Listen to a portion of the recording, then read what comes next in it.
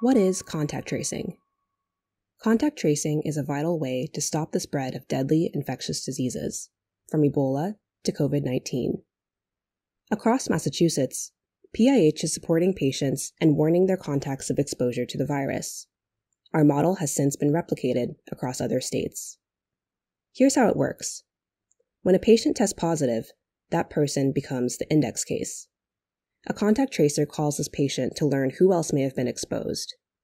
Then, the contact tracer calls the index case's contacts family members, neighbors, colleagues, and virtually screens them for symptoms of the disease.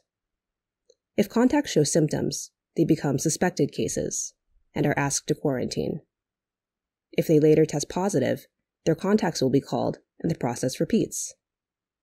If contacts don't show symptoms, they will still be monitored during the disease's incubation period. For COVID 19, that period is 14 days. This process will continue until all cases are identified, allowing us to track the virus, test, treat, and isolate patients, and stop the spread. But we need your help. To donate, visit www.pih.org.